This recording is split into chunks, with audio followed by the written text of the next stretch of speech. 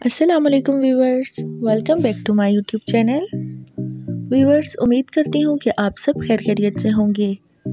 तो व्यूवर्स आज की मेरी वीडियो ड्रेस डिज़ाइनिंग पर है। ये तमाम डिज़ाइनिंग विंटर्स के अकॉर्डिंग है। अगर आपको मेरी वीडियोस पसंद आ रही हो तो प्लीज़ मेरे चैनल को सब्सक्राइब कर लें और बेल आइकन प्रेस कर लें ताकि मैं जो भी वीडियो अपलोड करूँ, वो आप तक पहुँच जाए। तो व्यूवर्स मैंने अपनी वीडियो में जितने भी ड्रेसेस ऐड किए हैं, ये बहुत ही सिंपल और एलिगेंट ड्रेसेस हैं।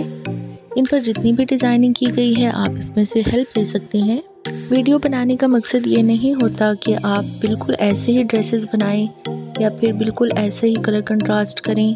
आप हेल्प ले सकते हैं वीडियो से कि आपको किस तरह का कलर कॉम्बिनेशन करना है, क्या कंट्रास्ट में ट्राउज़र लेना है और किस तरह की लेसेस अप्लाई करके अपने ड्रेस को खूबसूरत बनाना है। तो वीडियो जस्ट एक एडवाइस के लिए होती है, एक डिज़ाइनिंग आइडियाज़ के लिए होती है। आप वीडियो से आइडियाज़ ले सकती हैं कि आपने क्या कलर कॉम्बिनेशन करना है और उसके साथ किस तरह की लेसेस या फिर बटन्स अप्लाई करनी है।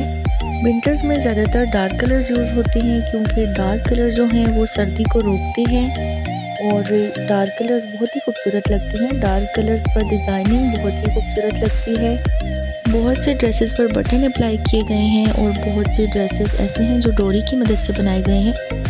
डोरी बहुत ही खूबसूरत लगती है ड्रेसेस पर स्पेशली नेक डिज़ाइंस पर डोरी बहुत खूबसूरत लगती है। आप मेरी वीडियो से स्लीव्स के आइडियाज़ ले सकती हैं। बहुत खूबसूरत खूबसूरत स्लीव्स के आइडियाज़ हैं जो विंटर्स के अकॉर्डिंग हैं। विंटर्स में ऐसे ही स्लीव्स बनवाए जाते हैं। ज़रूरी नहीं कि आप थ्री पीस डिज़ाइनर ड्रेस लेकर ही उस पर डिज़ाइनिंग करवाएँ। आप टू पीस ड्रेसेस लेकर उन पर भी बहुत ही खूबसूरत डिज़ाइनिंग करवा सकती हैं। आप अपने ड्रेसेस पर एम्ब्रॉयडरी करवा सकती हैं, लाइट एम्ब्रॉयडरी करवा कर आप अपने ड्रेसेस को एक अच्छी लुक दे सकती हैं।